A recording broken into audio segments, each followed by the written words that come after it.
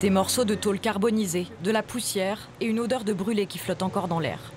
Deux jours après l'incendie des verres et aciers, une question brûle toutes les lèvres. La santé des Rouennais est-elle menacée? Dans un communiqué publié dimanche, la mairie de Rouen a déclaré qu'aucun seuil de dangerosité n'avait été relevé, mais uniquement pour les fumées.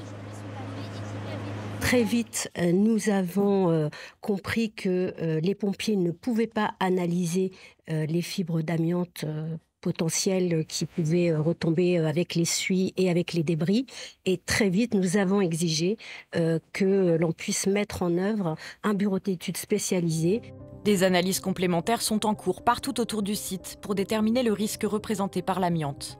Ce matériau, largement utilisé dans les constructions des années 70, est en effet hautement cancérogène. Une bombe à retardement responsable de graves maladies du poumon et de la plèvre. Et c'est lorsque les fibres d'amiante se dispersent dans l'air qu'elle représente un danger.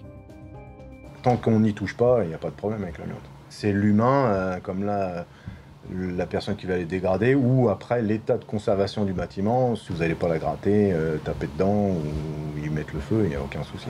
Mais justement, de l'amiante a pris feu dans ces immeubles et des morceaux ont été retrouvés tout autour du quartier Saint-Julien.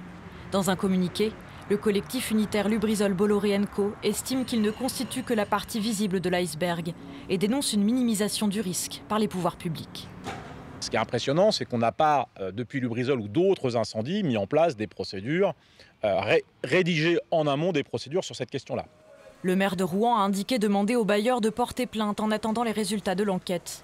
Le collectif Lubrizol Bolloré Co se portera partie civile.